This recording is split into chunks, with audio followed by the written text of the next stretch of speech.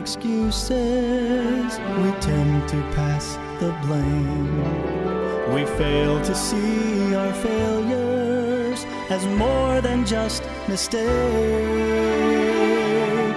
We can see the wrong in others, overlooking the evil within. So, Lord, help us to confront our hearts, to confess and forsake our sin. For the heart of the problem is the problem of the heart. Filled with pride, we try to hide every sinful part. But confession and repentance would be a healthy start to fix the heart of the problem. The problem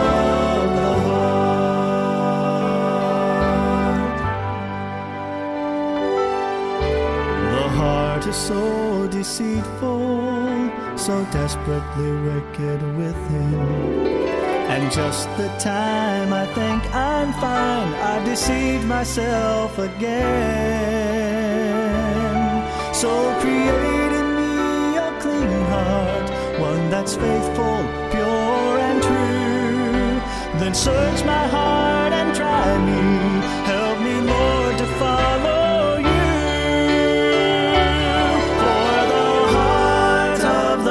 problem is the problem of the heart.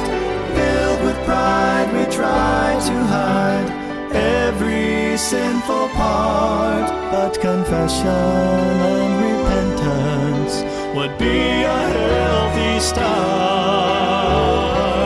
to fix the heart of the problem, the problem